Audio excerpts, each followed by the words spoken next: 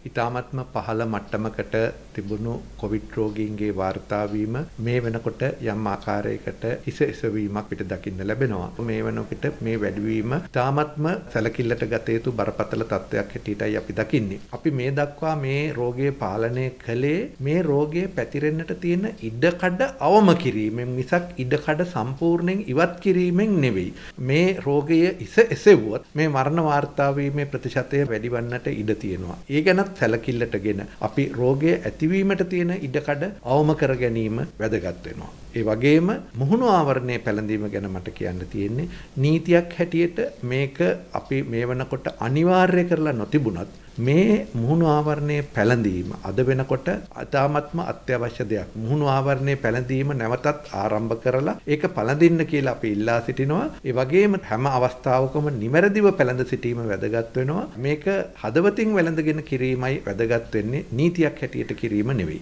අපි මේ අවස්ථාවේ නිසි ආකාරයෙන් කටයුතු නොකළොත් ඉදිරියේදී මේක වැඩි වෙලා බරපතල තත්ත්වයක් ඇති වෙන්න පුළුවන්. ඒ නිසා සෞඛ්‍ය පුරුදු අනුගමනය කරමින් මේ රෝගයෙන් ආරක්ෂා වීම මේ මොහොතේ ඉතාමත්ම වැදගත් වෙනවා.